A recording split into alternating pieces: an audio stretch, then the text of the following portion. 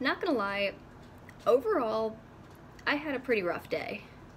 I was cheered up a little when I saw the first cut of the Katarina the Supervillain teaser trailer, so that brought some joy into my life today.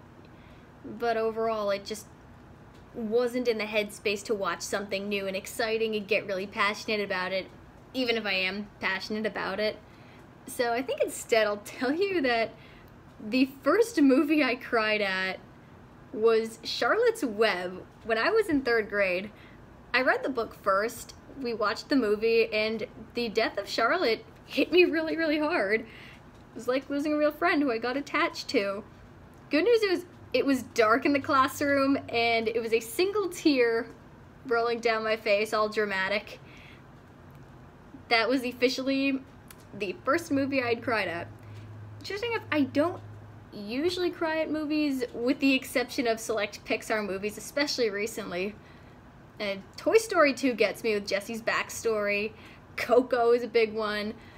And Inside Out. Yeah, otherwise, I tend to cry a lot at theater. Fiddler on the Roof is another one that hits me. So, it feels good, I'm not gonna lie.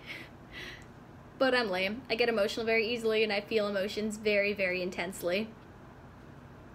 And I can admit it.